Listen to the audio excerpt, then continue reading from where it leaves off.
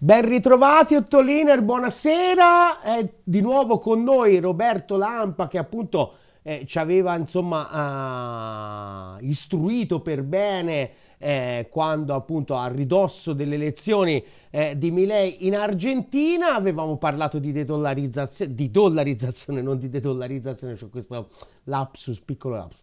E Roberto insegna eh, storia del pensiero economico e storia dell'economia all'Università di Macerata e però è un profondo conoscitore eh, dell'Argentina dove ha vissuto a lungo e dove continua ad avere eh, ampi rapporti e quindi diciamo uh, l'idea era quella dopo un mese eh, di governo Milei e soprattutto dopo che Milei è diventato un po' questa superstar dell'alt-right internazionale con la sua splendida performance al forum di Davos dove veramente ci ha fatto abbastanza ridere e fare un po' un bilancio di quello che è successo magari proprio anche di quanto insomma la connessione tra questa narrazione, grande narrazione, gli va concesso, che ha tirato fuori nell'ambito eh, eh, del forum di Davos e quello che poi concretamente sta facendo in casa. Quindi ti do la prima domanda, non è una domanda, è semplicemente faccio un po' il punto, diciamo, un mese dopo rispetto alle cose che ci eravamo detti l'ultima volta.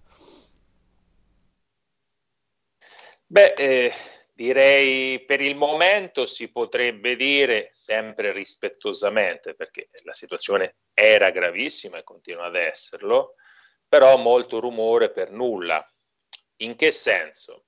Eh, nel senso che qui ed oggi ciò che va eh, sottolineato è eh, la sonora sconfitta di Milei, è cosa di questa settimana, che va detto, eh, aveva iniziato con eh, una, una, chiara volontà, io direi eversiva perfino, dell'ordine democratico, perché presentava un decreto omnibus fatto mai successo nella storia democratica argentina, approvato il quale un numero imprecisato, c'è cioè chi sostiene 350, chi sostiene fossero di più, di leggi sarebbe stato o abrogato o completamente snaturato. Voi capite che quando si parla di limiti a, a, al decreto, questo concetto esiste un po' in tutti gli ordinamenti e qui siamo già uh, nella fantascienza.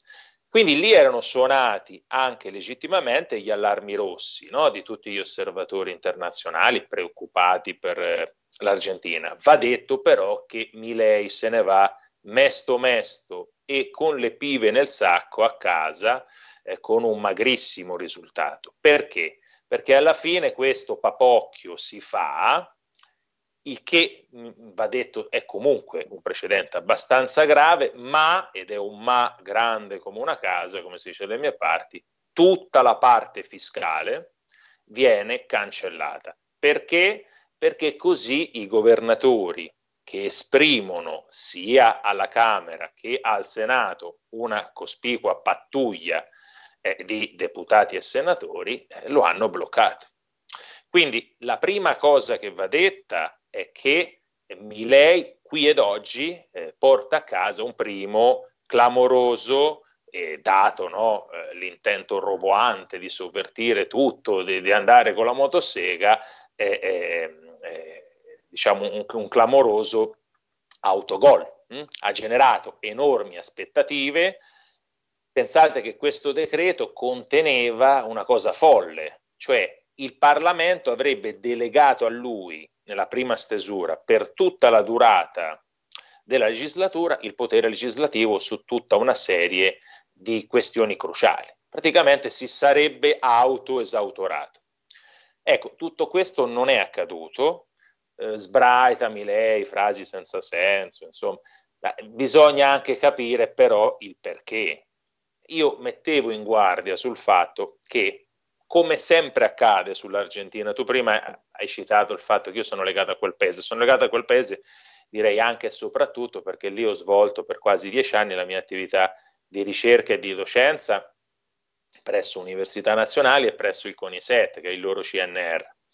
E lì mi occupavo di temi economici correnti, diciamo. Il ritorno in Italia ha coinciso con un ritorno un po' alle origini, quindi il cambio di settore disciplinare, ma insomma queste questioni non interessano chi ci ascolta. Lo dico per dire che ho dovuto in vita mia misurarmi seriamente con un paese molto complesso come l'Argentina. E quando questa complessità, che mi rendo conto è anche un ostacolo forte per chi ci si avvicina da fuori, però viene sempre piegata per le schermaglie interne, ritengo sia dannoso e sia anche particolarmente fastidioso. Cioè io vedo tantissimi colleghi eh, sul più importante dei journals economici, Twitter, no? Perché se un economista non sta su Twitter, oggi X, insomma, ci siamo capiti, non è nessuno. Poi eh, a Twitter va affiancato un blog con foto rigorosamente in bianco e nero, parlo del vademecum dell'economista di nuova generazione, e negli hobby, una sezione hobby in cui si fa trekking in montagna con la famiglia sorridente. Questo per dire, no? permettetemi di essere un po' caustico sullo stato antropologico, ma direi perfino psicologico dei miei colleghi, ma questo è. Allora, quando si fa analisi su queste basi, poi si fanno danni. Cioè, continuare a etichettare Milei di anarcocapitalismo, quando è un esempio da manuale del cialtrone argentino. Hm? Una figura famosa, insomma, è il Cianta, eh? il cialtrone argentino. Quello che le spara grosse, il bomba direbbero a Firenze, anche un personaggio simpatico, ma un, un personaggio folcloristico. A mezzo governo Milei di Macri, a partire dal ministro dell'economia. Io voglio capire in che cosa il famoso ministro famigerato, ministro Caputo, possa essere paragonato a un anarcocapitalista. L'establishment internazionale, al contrario, ha voluto, proprio per tenere a freno il pazzarello, diciamo, un ministro d'economia che è un uomo eh, rispettato, pensate un po' voi, no? perfino eh, come si merita il rispetto in questo mondo bizzarro, a Wall Street. E quindi in ultima istanza una figura di garanzia per la complessa ristrutturazione del debito argentino, che è ancora lì. Quindi in realtà noi osserviamo questo personaggio, ripeto, tipico argentino, non ha nulla di nuovo, non, non, ma come hanno fatto gli argentini? Ma basta salire in un taxi, basta, con, basta pa- cioè, Milei ne trovi quanti ne vuoi, la novità è che sta lì al potere, no? Dopodiché però bisogna chiedersi quanto potere lui gestisce, cioè se io mi metto nei panni dell'avvocato del diavolo, tutto ciò che è stato fatto finora è un'enorme svalutazione, che era la richiesta che il Fondo Monetario Internazionale veniva facendo da due anni a questa parte. Quindi si sta rompendo le regole, si va verso l'anarcocapitalismo o si sta semplicemente in maniera ligia e, e senza tanti fronzoli come tipico delle destre latinoamericane applicando il programma del fondo. Cioè su queste questioni bisogna essere precisi perché altrimenti si fa il gioco di Milei. Se noi lo dipingiamo come il discolo antisistema, nemico dell'establishment, anarcocapitalista, noi gettiamo milioni di simpatizzanti eh, eh tra le braccia di Milei. Perché voi capite, fa, a me, uomo della strada, mi fa talmente tanto ribrezzo che ne so, la presidentessa, non inteso in quanto tale, ma in ciò che rappresenta dell'FMI, che se voi mi dite che Milei è contro l'FMI, io so con Milei. Quando in realtà è vero l'esatto contrario. Cioè eh, il Fondo monetario è il soggetto finora più tranquillo che ci sia, le sue preoccupazioni quotidiane le esterna sull'Ucraina, come avrete letto, e non nomina più l'Argentina principale, principale suo debitore da settimane, da quando c'è Milei. Allora noi su queste cose dobbiamo stare attenti, io direi, quando si comunica e quando si fa analisi, altrimenti, insisto, rischiamo di far sembrare Milei quell'antisistema che poi nella confusione moderna diventa eh, tutto un calderone in cui ci si mette dentro vaccini, eh, questione ucraina, compagnia cantando e quindi Milei è, è il ribelle e l'establishment lo vuol far fuori. No, nessun establishment lo vuol far fuori perché lui è l'establishment da quanto tempo in Argentina i governatori hanno un potere d'agenda sul governo? Da che esiste l'Argentina, cioè si sono scannati dietro questa questione, unionisti contro federali, scannati, cioè un massacro, e alla fine hanno vinto i federali e quindi è un paese federale e quindi ti siedi col governatore in eh, dolorose negoziazioni e concessioni per lo più economiche e io ti faccio votare in Senato, altrimenti non ti faccio votare. E o allora o fai un colpo di Stato militare, cosa che è successa nella storia argentina, o altrimenti eh, negozi o altrimenti perdi come ha fatto Milei. E quindi questa è la prima cosa, secondo me, che va sottolineata, che questo fanfarone, questo Cianta, ha un nome specifico, Cianta, nella regione rioplatense, che è una, eh, diciamo, deriva dalle, dagli italiani Ciantapuffi, in genovese Cialtrone, eccetera, eccetera, ecco, eh, è Milei. Quindi eh, possiamo continuare a ridere delle sue motoseghe, dei suoi eh, peraltro adoro eh, mastiff inglesi clonati, ecco sulla no, perché c'è anche questo aspetto. Eh, possiamo ridere sulla, eh, si mormora, diciamo così, eh, promiscuità della relazione con sua sorella, eh, e lì già andiamo su una sfera piuttosto delicata, ma rilevare quando invece siamo seri, che questa eh, eh, roboante trasformazione dell'Argentina, questo rullo compressore, era in realtà eh, inceppato e si è inceppato alla prima occasione. Che significa? Significa che l'Argentina è ancora dentro una crisi terribile, però significa che qui ed oggi siamo tipicamente all'interno di un programma, eh, di, si chiama insomma di, di adjustment del Fondo monetario. Che cosa ce lo indica? Insisto, la brutale svalutazione del peso ha avuto, questo sì va detto, risultato... Ci puoi dare qualche cifra? Ce la puoi quantificare un po'? Ma consider- allora, è difficile perché il tasso di cambio era segmentato, quindi dipende da dove noi collochiamo eh, la, la misura iniziale. Tasso di cambio segmentato che significa? Per le imprese, per tutta una serie di soggetti importatori e registrati presso l'Agenzia delle Entrate argentina che si chiama FIP, era sensibilmente più basso che per l'uomo della strada che voleva viaggiare all'estero e chiedeva dei dollari. Ma insomma, se prendiamo quello ufficiale, è stata una svalutazione eh, di, circa, di circa il 70% e un aumento del tipo di cambio invece molto superiore, insomma ampiamente superiore al 100%. Questo in un paese come l'Argentina è studiato, ci sono insomma molti paper su questo aspetto, uno perfino della Banca Centrale Europea del 2007, si trasmette completamente a prezzi, cioè eh, questo gli economisti lo chiamano l'effetto pass-through, mm? eh, parolone per dire quanto di una svalutazione si trasmette a prezzi. Nel caso argentino, per il bimonetarismo che esiste nel paese, 100%.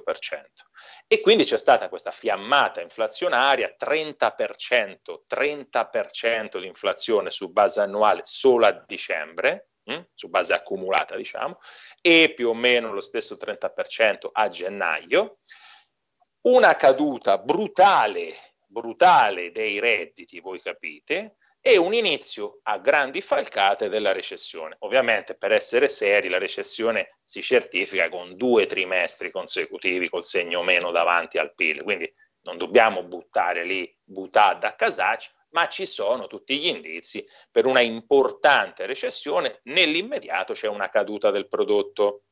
Allora, questo è ciò che il fondo veniva Leggevo, chiedendo. correggimi sì. se sbaglio Roberto, in particolare delle PMI, no? E quello è tipico. Quello, tutto ciò che dipende dal mercato interno è il primo a soccombere quando ci sono queste fiammate inflazionarie, no? Perché eh, in realtà eh, chi ha um, le grandi corporation, diciamo, diciamo, il capitale internazionale, che è quello che fa la voce eh, eh, eh diciamo più forte sia in industria che nell'agricoltura, eh, hanno ampia possibilità di autofinanziamento. No?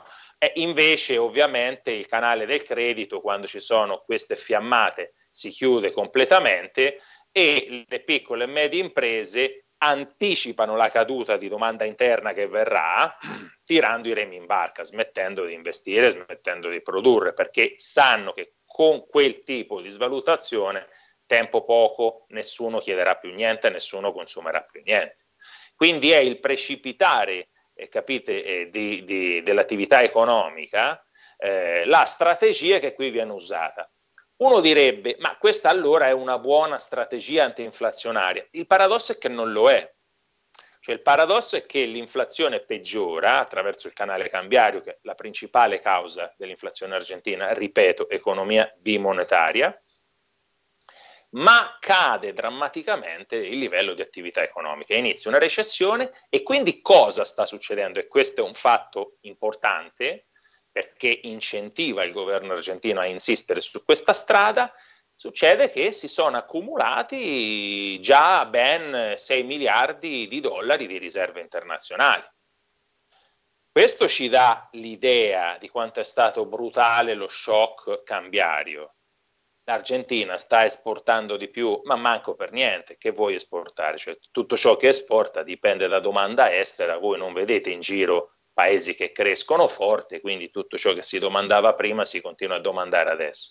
Ciò che è crollato drammaticamente è stato invece il livello delle importazioni e soprattutto la possibilità, io direi, sul mercato cambiario di accedere ai dollari, perché sono talmente cari oggi i dollari in Argentina per una persona che guadagna pesos argentini che sia con il canale legale che con il canale illegale la loro domanda è caduta drasticamente.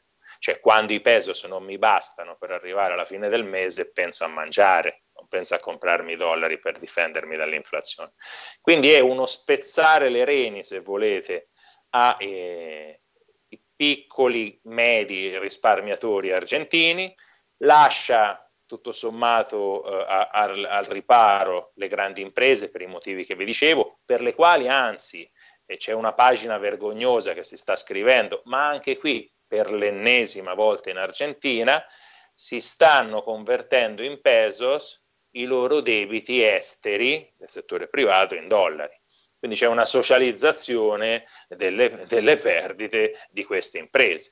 Che cosa era successo? Che nella fase finale del governo di Alberto Fernandez eh, si era arrivati proprio a proibire le operazioni cambiarie per le importazioni, per la proprio eh, mancanza cronica di dollari che rischiava di portare a un default.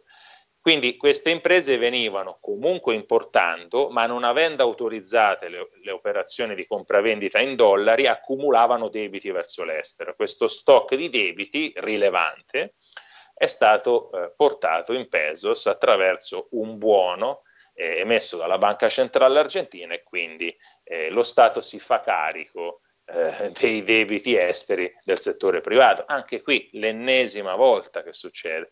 Forse avrete sentito nominare il mega canche. Il mega canche era stato questo ai massimi livelli alla fine della convertibilità di Menem. Quindi, ripeto, io non vedo elementi di sostanziale novità, c'è stata la volontà di eh, fare la voce grossa, di minacciare fuoco e fiamme, Dobbiamo anche però chiederci se non era in fondo, già in partenza, la volontà di sparare altissimo per portare a casa qualcosa, cioè sapendo in partenza che o si andava alla sovversione eh, dell'ordine democratico o eh, non c'era modo di far approvare questo decreto omnibus. Fra l'altro, il puro opaco e eh, a dir poco, diciamo, eh, sistema giudiziario argentino si accingeva, si accinge già a discutere eh, due eh, appunto richieste di eh, giudizio per anticostituzionalità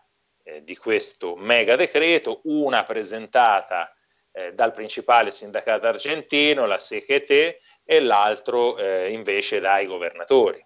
Mm. Quindi voglio dire che, che, che andasse a finire male era ovvio, il fatto che appunto la cosa si stia gestendo così, ci deve anche far riflettere su qual è la forza di Milei, cioè quella di vendersi come un discolo, un ribelle, quando in realtà, eh, come è stato definito in un celebre eh, faccia a faccia televisivo dalla candidata della sinistra Miriam Bregman, è un gatito mimoso del potere, no? un gattino che fa le fusa eh, al potere, non certo un leone che ruggisce.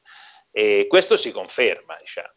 Poi ovviamente c'è tutto un uso, insisto, eh, sbagliato del caso argentino che fa sempre audience all'estero e quindi ad esempio uno le- deve leggere sul Corriere della Sera, sui nostri media, perché è importante, perché può succedere anche da noi un Milei, come se fosse una specie di virus che si... Questo secondo me è l'approccio sbagliato, che se il Corriere della Sera ti critica, probabilmente ci sono milioni di italiani a cui fai istintivamente simpatia. Eh, Senti, in invece, c- siccome c'è stata anche una grossa mobilitazione, c'è stato uno sciopero generale, quanto ha influito anche sulla bocciatura dell'omnibus, sulle negoziazioni? Perché appunto l'hai messa tutta sul piano istituzionale, governatori, Milei, invece ha giocato una parte anche questa mobilitazione e questa mobilitazione cosa ci dice della società argentina? Nel senso, comunque sì. c'è ancora la capacità di organizzarsi oppure è un fuoco fatuo? No, allora, quella c'è. Allora, lì la cosa è un po' complessa. Il sindacalismo argentino è mm, sostanzialmente, non voglio usare espressioni troppo offensive, ma tra le, tra le, tra le espressioni eh, parzialmente offensive, magari sceglietene una. Cioè, il sindacalismo argentino è la destra destra del movimento peronista, no? Il sindacalismo argentino è quello che si fa carico negli anni 70 eh, di uccidere, parlo della AAA, no? Alleanza Anticomunista Argentina, i militanti di sinistra e i militanti peronisti che volevano una specie di svolta a sinistra.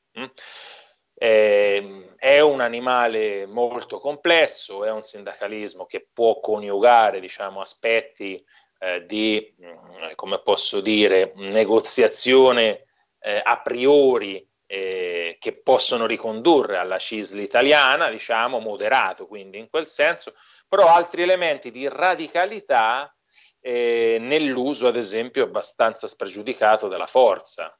Cioè, non è che uno piglia e va a reprimere una manifestazione della CGT così, ecco, perché poi storicamente, non parlo dell'oggi, sono scappate fuori le pistole in 4 e 48, eh? cioè è gente anche po' bruttina, da starci molto attento. Questo per rispondere alla tua domanda. Lì è un'altra battaglia che si giocava, no? non tanto la parte economica del decreto omnibus, ma la parte poliziesca. Questa iattura di Patrizia Burric, che non so, da noi, chi, non so, mi viene in mente chi è qualcuno che da una vita in Parlamento ha girato tutti i partiti, non c'è modo di mandarla a casa, forse non c'è più nemmeno da noi sta figura mitologica, un tempo era Mastella, ora non sì, più. Casini, no? Casini è uno che ecco, dei record. Beh, cioè lei ha, ha, ha, girato tutti i partiti, ha iniziato probabilmente anche come spiona nei Montoneros, quindi nella guerriglia peronista di sinistra, poi è passata agli antiperonisti, quindi mm, la, la cosiddetta alleanza, il governo di Della Rua e come ministra del welfare ha massacrato i pensionati, cioè gli ha tagliato dall'oggi al domani le pensioni del 30%, eh, così. E, e, noi ci lamentiamo del, del, prelievo amato nei conti correnti, ma questo altro che il prelievo amato nei conti correnti, insomma, no? e, e, poi addirittura alla destra liberaloide eh, del PRO di Maurizio Macri ha fatto una campagna elettorale imbarazzante eh, con temi di ultradestra, ma non avendo la credibilità di Milei, no? Cioè, nella denuncia alla casta, Milei è credibile perché non è stato mai parte della casta. Figlia mia, sono 30 anni, 35 campi di politica, ma come puoi pensare di essere credibile su quel terreno? E quindi non è neanche andata al ballottaggio, però poi eh, ha fatto l'accordo al ballottaggio pro Milei e si è portato a casa questo Ministero della Segurità, quindi Ministro della Sicurezza, che è un ibrido, una specie di scorporamento, perché poi il Ministro dell'Interno esiste ed è un altro. Quindi queste butad lei diceva impediremo le marce, impediremo di tagliare le strade. Lei dall'oggi al domani voleva fare come negli Stati Uniti, dove appunto in una manifestazione, parlo di ciò che conosco, io ci ho vissuto e sono andato alle prime manifestazioni di Occupy Wall Street, ho avuto la fortuna di essere in quei periodi, effettivamente se scendi dal marciapiede ti mettono nemmeno le manette, ma eh, le, le, fascette di plastica e ti portano via. No? Lei pensava che fosse eh, una butad, e questa invece è stata una prova di forza della CGT di dirle guarda, sostanzialmente noi facciamo ciò che vogliamo, attenta a te perché non c'è polizia, non c'è niente che a noi ci ferma. E questo è, se tu vuoi, un elemento di forza del sindacato. Dov'è che il sindacato è molto, molto però più fragile? E Milei infatti sta cercando di fare un'offensiva lì. E dove è probabile anche che il sindacato venga ricondotto a più miti consigli, sulla sua enorme eh, cassaforte che lo Stato gli permette di avere, che sono le cosiddette obras sociales, cioè le casse mutue, quelle che Di Vittorio, sindacalista vera, vero, ha fatto abolire. Dice, ma che casse mutue? Vogliamo il sistema sanitario nazionale. Non è che perché uno fa il medico o il professionista o il dirigente ha diritto a migliori prestazioni sanitarie e quello che fa il muratore a livelli minimi di assistenza. Queste erano le casse mutue, no? In Argentina invece ancora il sistema diciamo, dominante sono le casse mutue. Hm? Chi le gestisce però la cassetta del tesoro è i sindacati. Quindi lì c'è un problema. I sindacati sono titolari di ospedali, di attività economiche importanti, redditizie, remunerative, perché appunto contano su cospicui sussidi da parte dello Stato.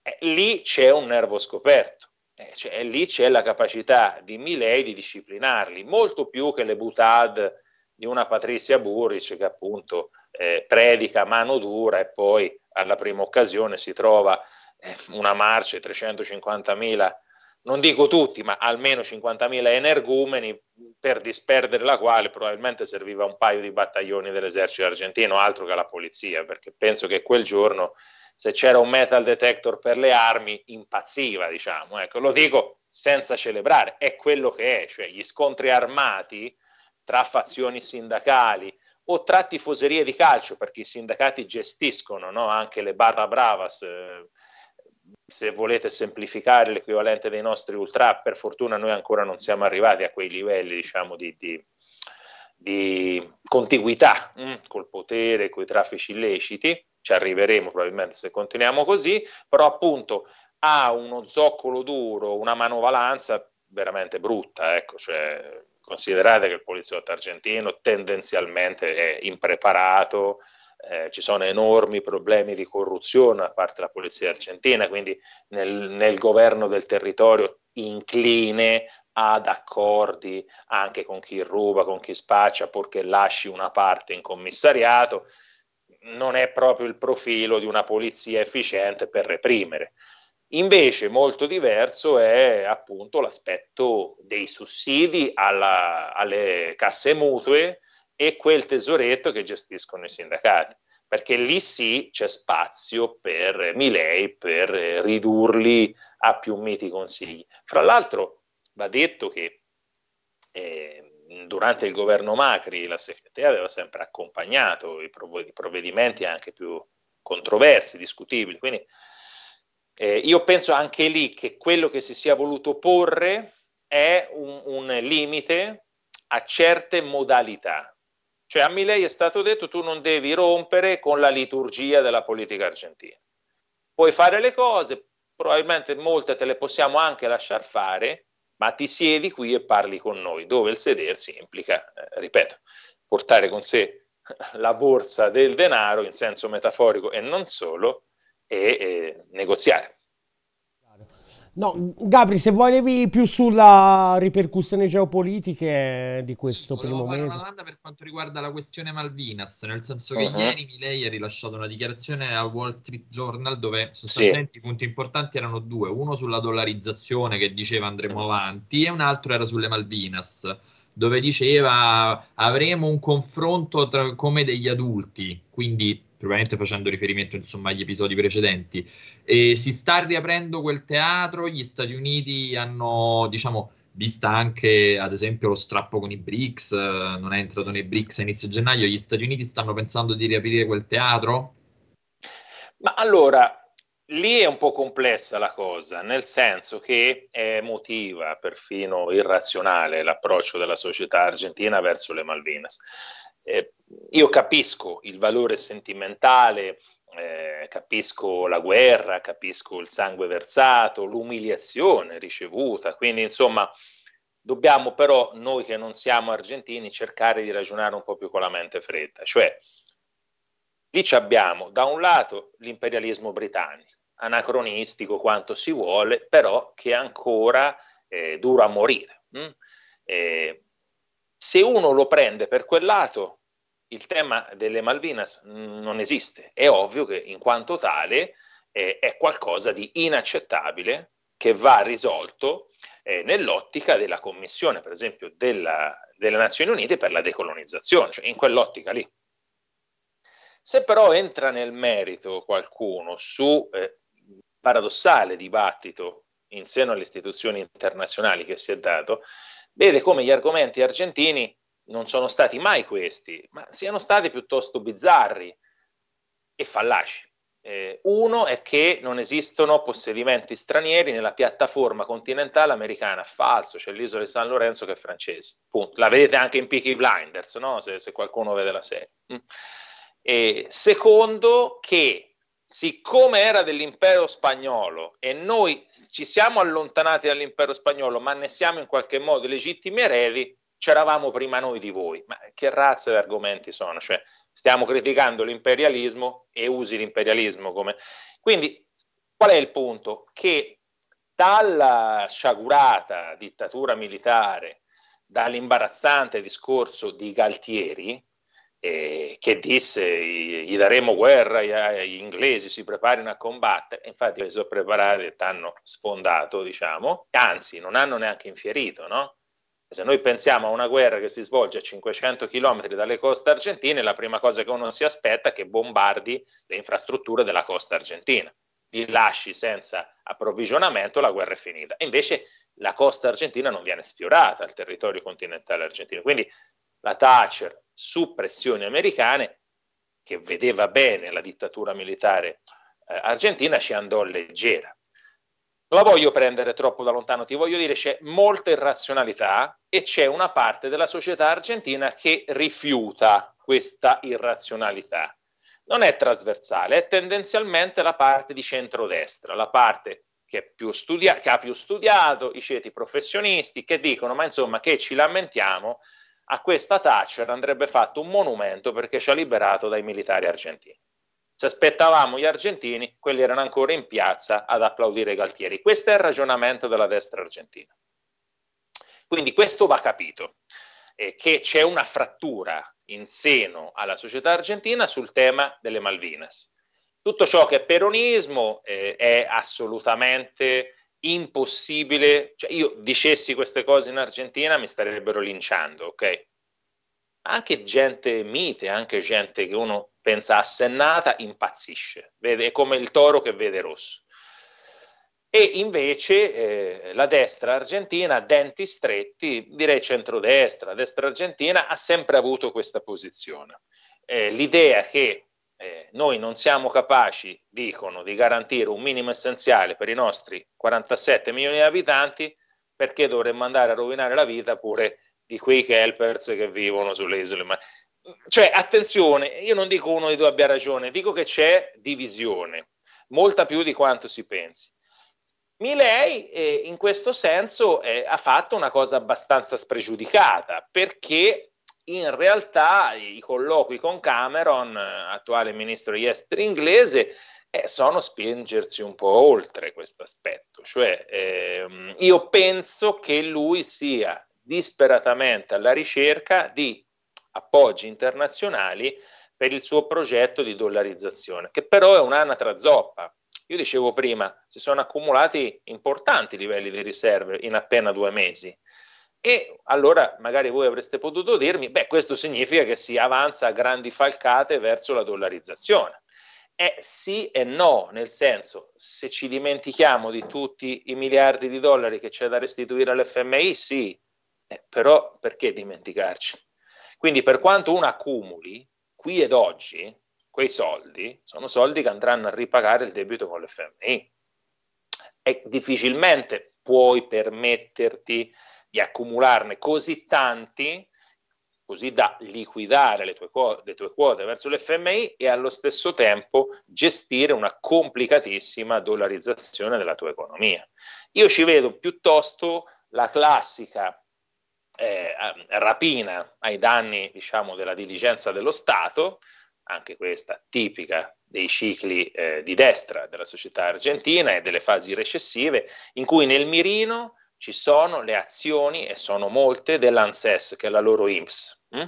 che sono statali, diciamo di proprietà l'ANSES, però le azioni sono azioni finanziarie, asset, eh, molte volte anche in dollari. Diciamo.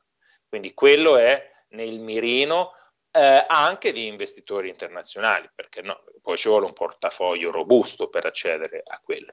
IPF per il momento è stata stracciata dal decreto Omnibus la sua eh, privatizzazione, però attenzione che ci sono tante altre compagnie cosiddette minori dello Stato che invece eh, fanno anch'esse gola agli investitori internazionali. Elon Musk, Elon Musk diciamo, um, per esempio eh, è sul punto di comprare Arsat, la società di satelliti argentina. L'Argentina è uno degli otto paesi al mondo che costruisce e gestisce satelliti in orbita ma soprattutto è un punto dal quale si possono mandare satelliti in orbita. Non sono poi molti i punti nel mondo e quindi Starstream è pronta eh, e diciamo si frega le mani per comprarsi Arsat, quindi invece che radicarsi in Sud America, comprare direttamente un'infrastruttura esistente con la quale eh, diffondersi nel mercato sudamericano. Quindi rispondendoti, io ci vedo in questi gesti anche spregiudicati la volontà di aprirsi agli investitori internazionali perché? Perché per il progetto di Milei quello che manca è che qualcuno lo finanzi sui mercati internazionali. Ecco, in quel senso è abbastanza spregiudicato eh, da fare anche concessioni sulle Malvinas, perché no? Se è a cambio di eh, finanziamenti sui mercati internazionali, quindi possibilità di dollarizzare.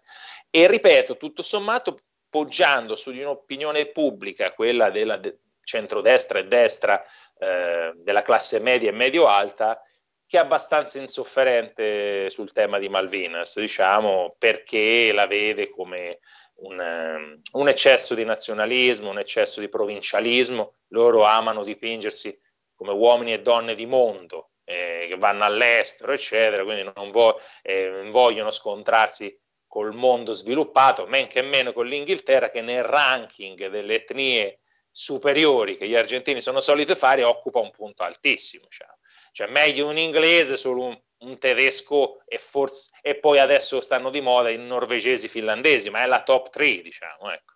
Beh, la cosa migliore che ti può succedere è essere discendente di un tedesco o di un inglese. E sono paradossi e cose bizzarre del mondo postcoloniale, però anche quelle vanno capite. E, e, Gabri, volevi chiedere del Brasile, Cina, tutto. Sì, uh, e, chi- e chiudiamo, chiudiamo con questo. Ok, volevo fare una domanda per quanto riguarda l'import-export, nel senso che sì. eh, Milei, sempre in campagna elettorale, eh, aveva detto ah non faremo più affari con i paesi comunisti, quindi in sostanza faceva riferimento al Brasile di Lula e alla sì. Cina. Poi su questa cosa è rapidamente tornato indietro perché un po' perché gli serviva l'appoggio dei moderati del centrodestra, un po' perché gli imprenditori esportano soia e quant'altro, il Brasile è il primo partner commerciale, la Cina è il secondo, però insomma, comunque degli strappi poi li sta facendo, nel senso che appunto BRICS, nei BRICS non è entrato, questo ha avuto delle ripercussioni anche sui finanziamenti che la Cina forniva all'Argentina. Certo. Quindi eh, la domanda che ti vorrei fare è proprio di carattere un po' più tecnico. Secondo te è, è verosimile immaginare una traiettoria di allontanamento? non tanto dal Brasile per vicinanza geografica quanto dalla Cina da un punto di vista commerciale di rimpiazzarla ad esempio con gli Stati Uniti? Ma allora, eh, lì è complesso, nel senso, dimmi ciò che produci e ti dirò a chi puoi esportare.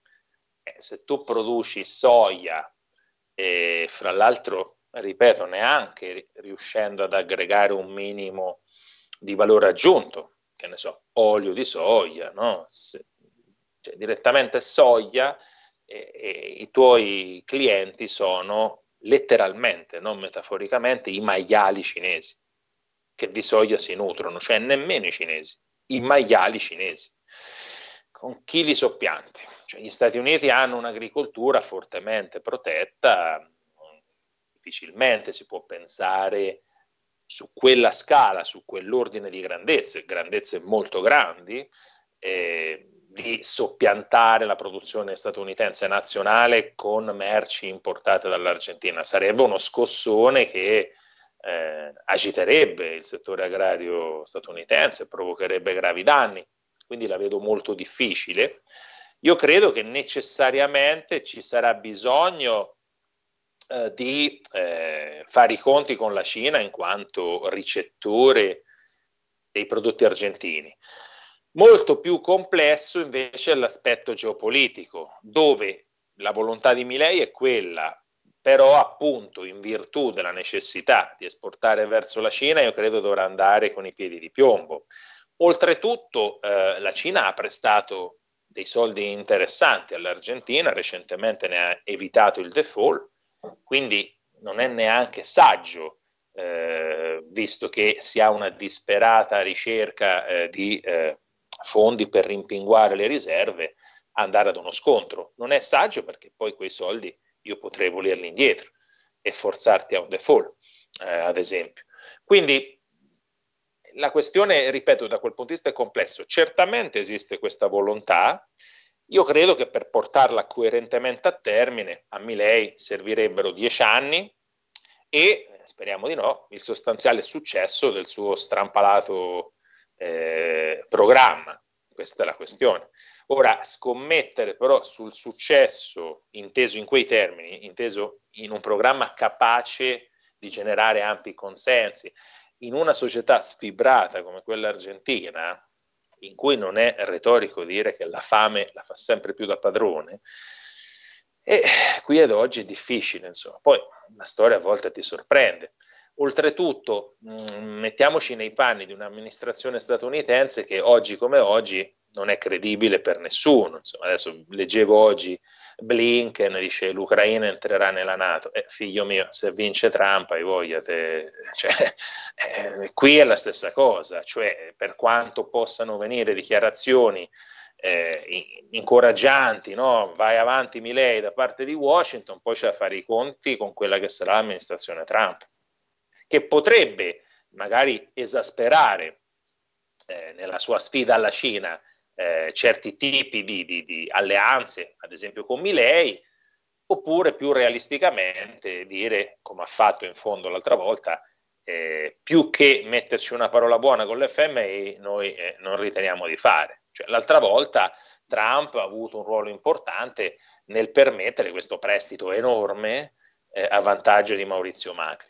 Però di nuovo, la lettura interna argentina è che è stato a vantaggio di Maurizio Macri. Ma chi è però che aveva eh, investito fortemente in questi asset speculativi e rischiava di rimanerci fregato? Eh, BlackRock, Cargill, sempre gli stessi, insomma, eh, gruppi finanziari di Wall Street. E quindi anche lì è controverso dire che Trump il favore l'ha fatto a Macri. Sì, in termini politici gli ha fatto un favore, ma il punto è che ha fatto ciò che è lecito aspettarsi un'amministrazione statunitense quando si mette eh mano all'azione dell'FMI, cioè dare garanzie eh, ai creditori eh, che non rimangono insolventi, a maggior ragione se quei creditori sono eh, fondi di investimento importanti statunitensi. E anche lì si apre una partita tutt'altro che chiara. Io penso che soprattutto quello che non aiuta Milei sia la congiuntura internazionale, cioè una congiuntura con grossi scossoni, con tassi di crescita non così sostenuti, con questioni aperte, specie sul fronte delle economie emergenti, e con una tendenza crescente alle misure protezionistiche. No? Quindi rischia di essere eh, l'uomo sbagliato al momento sbagliato. Poi vedremo, appunto, ma io non, non mi farei appunto molte illusioni da quel punto di vista. Chiarissimo, come sempre Roberto, è stato preziosissimo per insomma dare una lettura un po' fuori da, cioè un po' oltre più che altro, diciamo, un po' i titoloni che spesso servono più a distrarre che non a capire qualcosa. Ci vediamo prestissimo perché insomma l'avventura di Milei ci appassiona tutti ovviamente. Sicuro. non ci si annoia mai in Argentina. Assolutamente. Grazie mille Roberto, grazie a Gabriele, grazie a tutti gli ottoline. Buona serata a tutti, ci vediamo presto. Grazie a voi.